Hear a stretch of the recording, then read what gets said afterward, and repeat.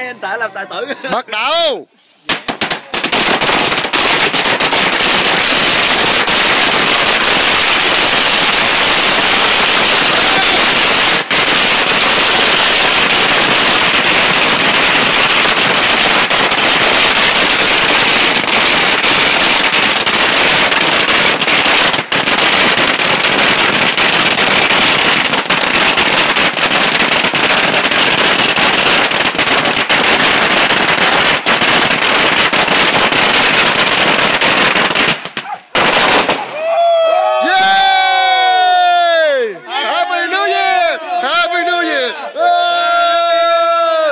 Have a new year.